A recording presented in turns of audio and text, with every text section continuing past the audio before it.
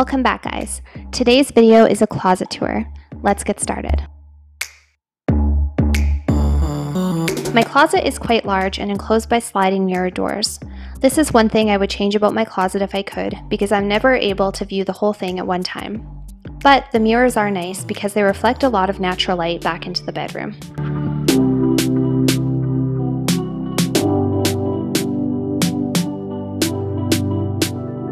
Let's start with the left side of the closet, which is the boring side, and then we'll get into the fun stuff. On the left, I keep my work clothing, also known as scrubs, which are one color. I like to wear only white scrubs because of two reasons. Number one, I really like white and the way it looks on me, and number two, it makes it really easy to get dressed in the morning when you only have one color to pick from. I never have to decide what color or pattern to wear because there is only one, and I like having a work uniform. It helps me feel prepared and organized for my day ahead.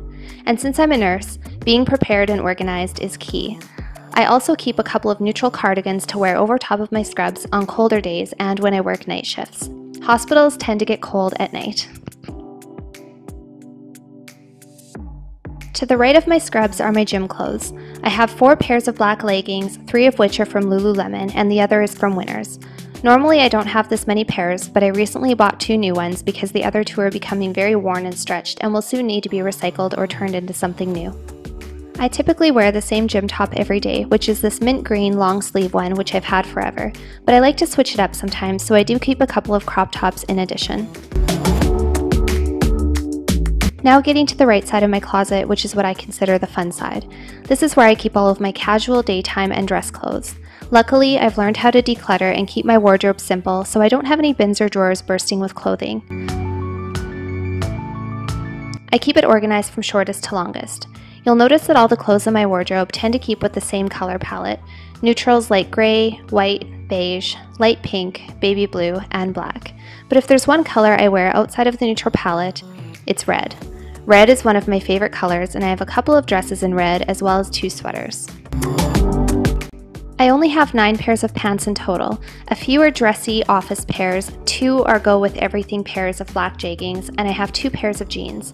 I'm not much of a jean person, so when I do wear them, they have to be high waisted and dark wash or black. Everyone has their style, and for me, when I wear light color jeans, I just don't like the way that I feel.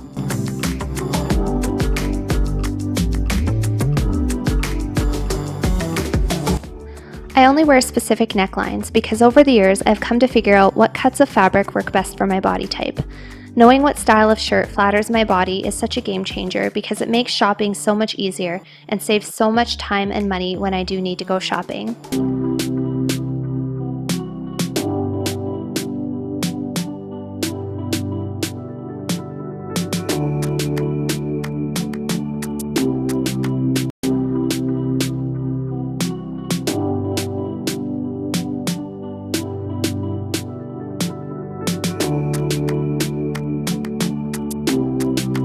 You'll notice another trend in my wardrobe, and that trend is pleated and peplum style tops.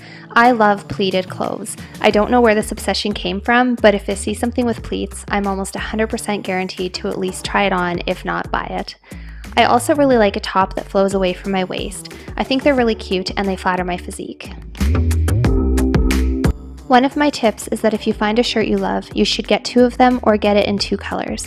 This is because you'll end up wearing it over and over and eventually you'll wish you had another one when it gets worn down. I've learned the lesson the hard way with a couple of my sweaters. They've been my favorites for a few years and unfortunately they're very worn out, but I haven't found perfect replicas to replace them with yet.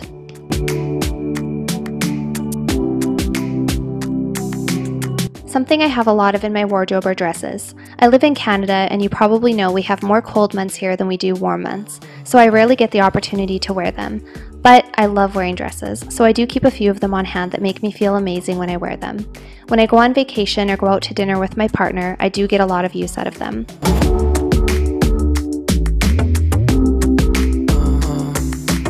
Something I decided a little while ago is that life is too short not to wear things that make you feel amazing. It's important to enjoy your femininity and wear things that make you feel good about yourself. These might be the best years of your life, and you'll never get this time back again.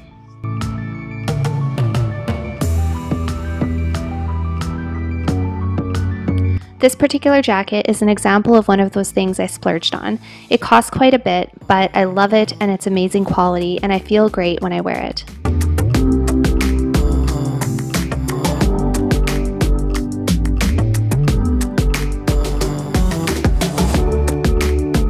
Some of my favorite places to get clothing from are Ted Baker London, The Bay, and Nordstrom Rack.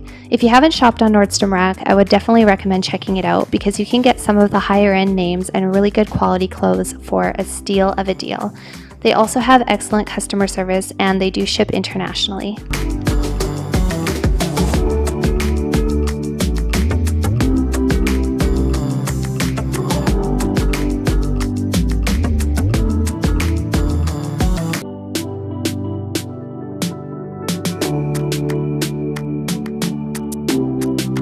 One of my favorite fabrics is tweed. Tweed always looks expensive and makes you feel like a million bucks when you wear it.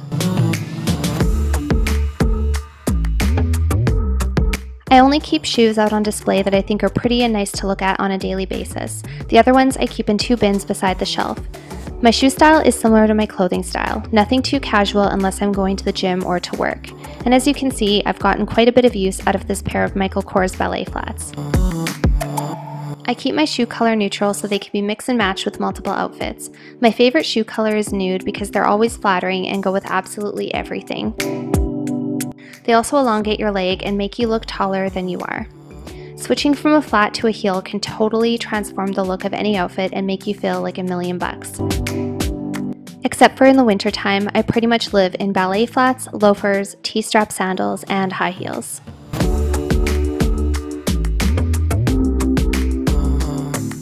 Although I consider myself a minimalist, I consider handbags to be not only a statement piece, but also a part of the woman's outfit. So I do like to match my bag to the season and to the occasion.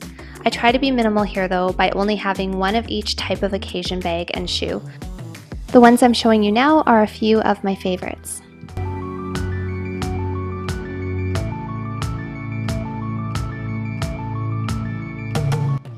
Being a minimalist doesn't mean that you have to have a total of 20 to 30 things in your wardrobe.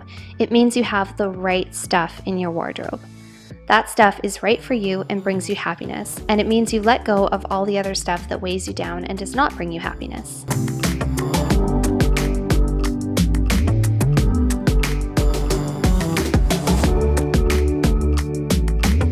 I hope you enjoyed today's video. If there's anything else you'd like to see more in depth, please let me know in the comments below. As always, thank you for watching and we'll see you next week.